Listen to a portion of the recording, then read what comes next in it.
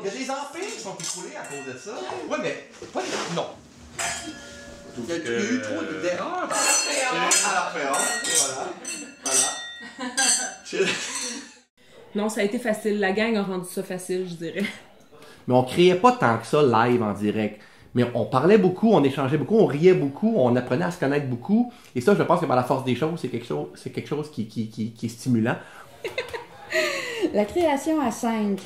À 5, il faut que tu tiennes compte des personnages des autres, de la tonalité des autres. Ben, en fait, c'est ni difficile ni facile. C'est un- une démarche que je connaissais pas.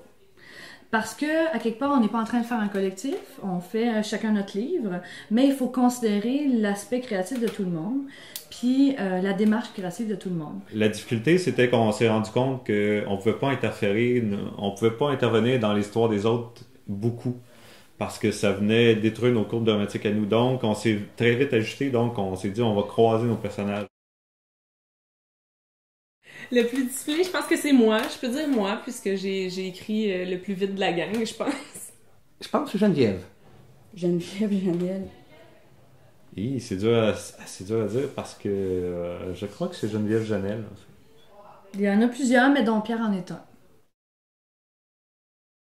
Véro. Ben, c'est Véro, malheureusement.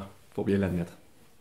Véronique Marcotte, on sait même pas si elle a commencé à l'écrire, son livre. Mais En fait, c'est Véronique par défaut parce qu'elle avait tellement de projets en même temps. Mais c'est, c'est pas parce qu'elle est désordonnée.